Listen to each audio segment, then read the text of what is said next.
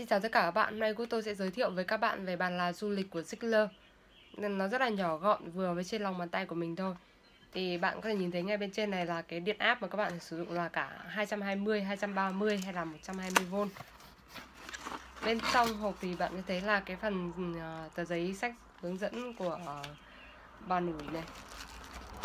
Còn đây là cái bàn ủi này, nó rất là nhỏ, xinh. À ngoài ra thì bạn có một cái cốc ờ, đây là một cái ca để các bạn có thể đựng nước nhé. Bàn uh, ờ, du lịch ờ, này của Ziegler là bàn ủi du lịch chạy bằng hơi nước. Là các bạn có thể là nó vẫn có cả chế độ ủi bằng hơi nước mặc dù nó rất là nhỏ. Bạn thấy không? Nó chỉ nhỏ xíu trong lòng bàn tay mình, mình thôi. Ừ. nó đặt vừa luôn. Đây. Giờ thì mình sẽ là thử cho các bạn xem nhé.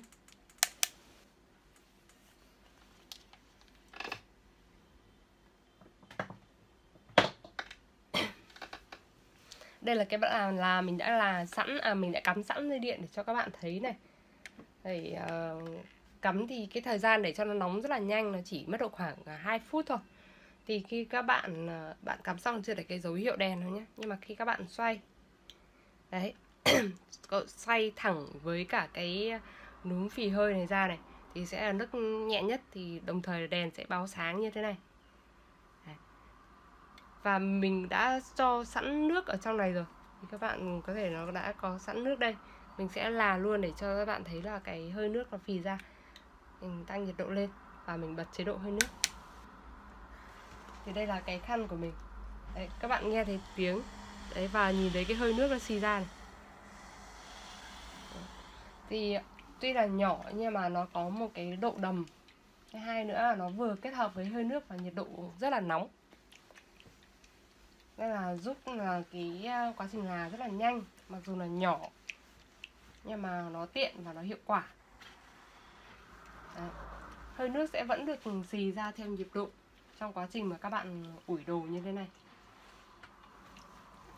một cái bàn là rất là nhỏ thôi nhưng mà các bạn nhìn thấy là cái khăn của mình nó uh, hết nhàu rất là nhanh. Tại vì là cái vừa kết hợp ừ, nhiệt độ kết hợp với hơi nước nữa. Nó ăn rất là nhanh. Đấy như bạn thấy là cái khăn của mình gần như là phẳng hết rồi. Trong thời gian rất là ngắn rất là dễ bạn có thể mang nó đi khắp nơi. Đấy. Và giờ hơi nước bạn vẫn thấy là cái hơi nước nó được xì ra. Đấy rồi mình sẽ tắt chế độ hơi nước đi. Và mình ờ, tắt máy. Thì các bạn lưu ý là nó cũng độ nóng khá nên là làm xong thì các bạn ờ, để máy dựng lên à để bàn là dựng lên như thế này.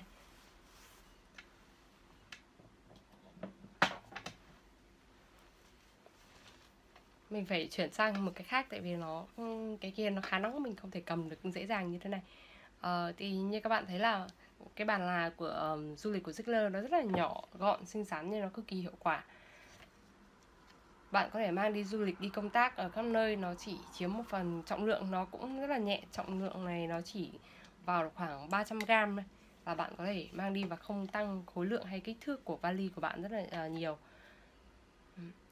Như vậy là Gusto vừa mới giới thiệu xong với các bạn về bàn ủi uh, du lịch của Zickler um, để đặt mua hàng hay muốn trở thành đại lý phân phối các sản phẩm từ Đức xin mời các bạn liên hệ với chúng tôi qua website ờ, augusto.vn hoặc theo số Viber Zalo bên dưới. Xin chân thành cảm ơn đã xem clip.